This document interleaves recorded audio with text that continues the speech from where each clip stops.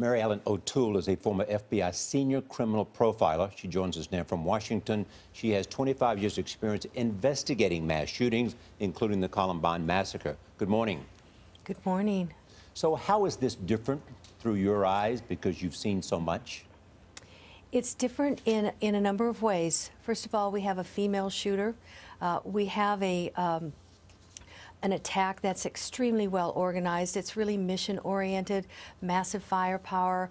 Um, it was very strategic and it had a very definite um, escape plan. Um, and there was no suicide at the end or suicide by cop. And that those three things to me are the most remarkable because it does suggest to me that after this shooting occurred at that event, these shooters intended to go someplace else because they could not, at the end of the day, go home and take their six-year-old baby, six-month-old baby away from their uh, mother-in-law and call it a day. Something else was probably going to happen.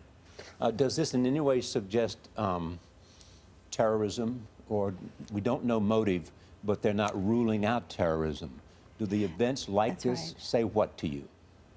That's right, they do. Um, and I think um, terrorism certainly has to be a, a, very important consideration here as the fact pattern begins to evolve and tighten up. It, it did occur in a venue where um, the male shooter had, you know, had fellow employ employees, had colleagues. So it, there are some who say this was very personal. That may be true, but it also may have made it a softer target for him. I don't believe, based on how strategic the plan was, that he had a fight and then the fight precipitated the attack. That doesn't make any sense at all behaviorally. The fight or the disagreement that people have described, if in fact that did occur, could have been staged. But the plan itself overall was extremely strategic, well thought out, and that would have taken days, weeks, even months to put together. And that is exactly what the San Bernardino police chief is saying to Mary Ellen, that it's highly unlikely that, that an argument caused this, that they were so well planned that they were dressed. He had an argument, he goes home, and then he comes back with his wife. His coworkers describe him as reserved, polite, that he appeared to be living the American dream, that he and his wife had recently married and had this six-month-old baby. What do you make of that when you hear about this, this couple being involved in this?